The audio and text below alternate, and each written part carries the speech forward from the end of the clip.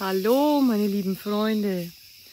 Ich bin hier gerade wieder in Gambira im Mango-Paradies. Für mich eine absolute Herzensangelegenheit, denn die Mango ist eine meiner Lieblingsfrüchte. Und ich weiß noch, als ich zum ersten Mal in meinem Leben in Kenia einen Mangobaum gesehen habe, war ich vollkommen hin und weg. Und hier sind unzählige Mangos diverse Sorten. Wir hatten jetzt schon kleine Mangos Azúcar. Die sind schon quasi durch. Jetzt kommen die anderen Variedades, die anderen Sorten. Und das ist für mich wirklich wow. So einen Mangobaum zu sehen, wie diese Mangos wachsen, wie lange das auch braucht. Und gerade habe ich auch erfahren, dass die Blätter der Mangobäume super gesund sind für Personen, die zum Beispiel Diabetes haben. Die regulieren den Blutzucker. Wahnsinn.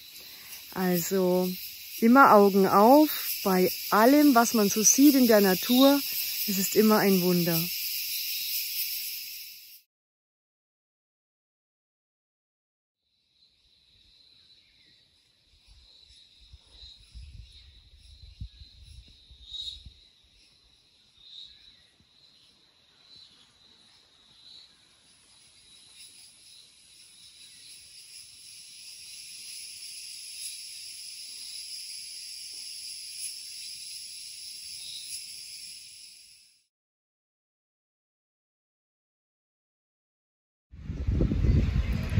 Ein wunderschönes Hallo jetzt aus Mexiko direkt an dem Catemaco-See. Ich bin hier auf der Dachterrasse von der tollen Katharina Nietzold. Hier hinten könnt ihr den See erkennen. Und was es hier gibt? Wieder einen Mangobaum. So habe ich also Kolumbien bei den Mangobäumen in Gambira verlassen und bin hier wieder an einem Mangobaum gelandet. Ganz zauberhaft.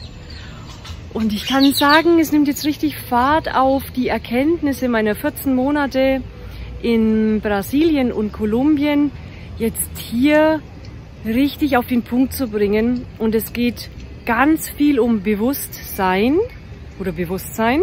Wir können es ein bisschen spielerisch verhandeln. Es geht um Verständnis und es geht um Definition. Was heißt zum Beispiel das Wort Schamane? Wer ist ein Schamane und warum? Was ist eigentlich der Ursprung? Was ist die Intention von Dingen? Ganz, ganz spannende Erkenntnisse. Dazu werde ich einiges schreiben. Es wird auch eine Vortragsreihe in Deutschland geben und ja, der Mango wird mein Begleiter sein. Ein unglaublicher Baum und ich freue mich auf euch alle in Deutschland in ein paar Wochen.